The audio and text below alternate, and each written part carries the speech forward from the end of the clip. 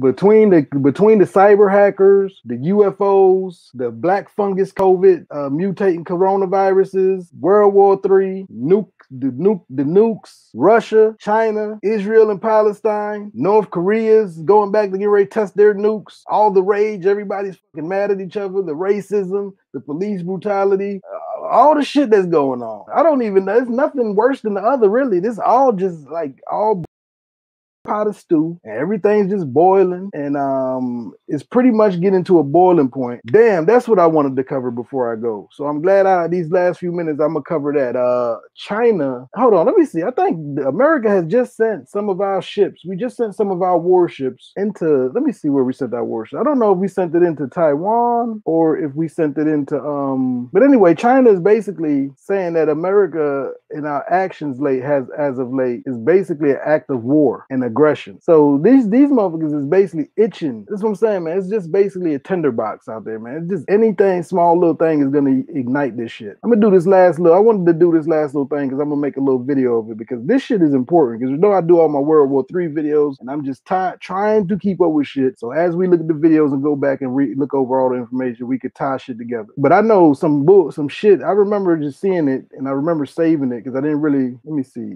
Yeah, here it goes. It says Hong Kong. This got to do with Hong Kong, right? It says Hong Kong suspends operations at representatives' offices in Taiwan uh, due to tensions that rise. Right? It says Hong Kong's government suspended on Tuesday operations at the representative offices in Taiwan in a sign of escalating diplomatic tensions between the global financial hub and the, the democratically ruled island of Beijing. Um, and being that China and Taiwan, those tensions are rising. And I guess we look at Taiwan as one of our allies. I know that, we just sent some goddamn warships toward Taiwan, and China is furious right now. And they're talking, to, they're looking at it as an act of aggression. I think I got it. Let me look on the uh, what the hell Biden ass is doing. I don't know where the war is going to start, jump off first. I know, I don't know if it's going to be Russia. I don't know if it's going to be China in America. I don't know if it's going to be China in Australia. We already got that shit. That shit that's going on in the uh, with Israel and the Palestinians is on a small scale compared to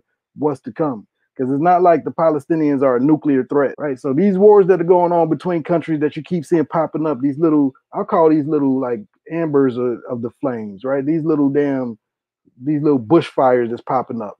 But the actual forest is about to burn, right? These little bushfires are gonna fuck around and catch the forest on fire, and then that's when shit is gonna break loose because it becomes a problem when you have nuclear capabilities. But yeah, so I read that um that um basically the moves that America are making right now, China is calling it acts of aggression, reasons for war. So, like I say, it looks like everybody's just amped up and ready to goddamn clash. And I don't blame. Uh, I can understand why shit is getting up, man. Economies are failing, motherfuckers are suffering. Some countries are doing better than others. Uh, countries that got vaccines don't want to share them with countries that don't got the vaccines. You got, uh, it's just a lot of shit going on, man. So I just say be safe, stay informed, catch the next videos, go take the polls, hit the thumbs up buttons, share out the stream, tell your friends and family about it. Um, think about if you are in the bushes, coming out the goddamn bushes, at least make sure you hit the thumbs up button and just say, hey, man. Right. Uh, if you stay in the bushes, that's cool. If you just want to come and just be a taker, then you can hear the information and that's all good. But just know that if you just stay in the bushes and just listen and don't at least speak in the chat, you're useless, right? You're not doing anything for the platform or anything for the channel. You're not hitting the thumbs up button if you're not going goddamn right. So you just basically using the platform for your own gain. And that's cool too. But just remember, people that's like that, those type of people always want to finish and last. All the people that come through support me. Y'all make sure y'all show each other love. And I'll see you next time. So blessings, peace, and love to you and all that you cherish. Peace. We out.